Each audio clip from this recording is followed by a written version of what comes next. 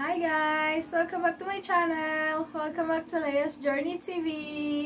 Okay, ang vlog natin ngayon is medyo seryoso po. Kasi, as a Filipino, nararamdaman ko yung hirap ng ating mga kababayan.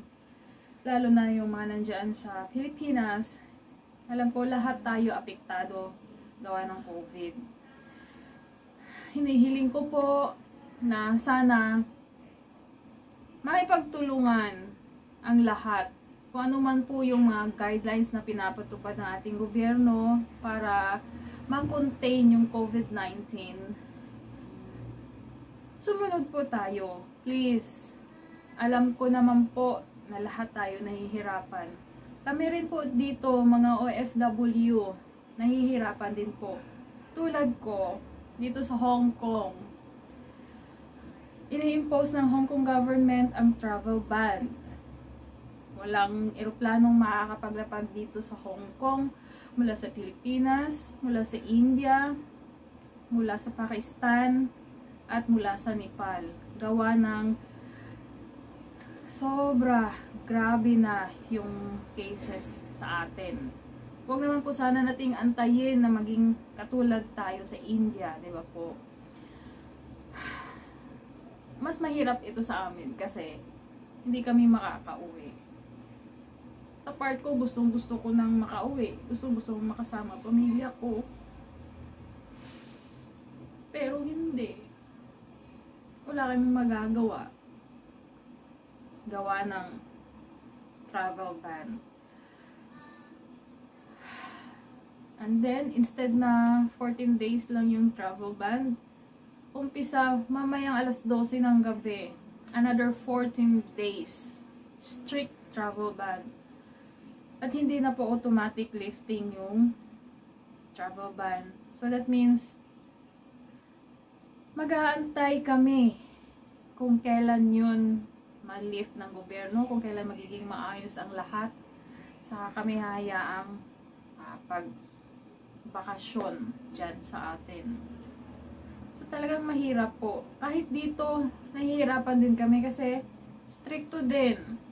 Kailangan sumunod sa social gathering, social distancing, yung mga batas dito. Kailangan laging mag-wear mask. Kung hindi, merong fine na $5,000. Ayun. So, madali lang naman po sumunod tayo sa batas na pinapatupad. Ganun lang po kadali. Kahit mahirap, kahit mahirap, pero wala tayong magagawa.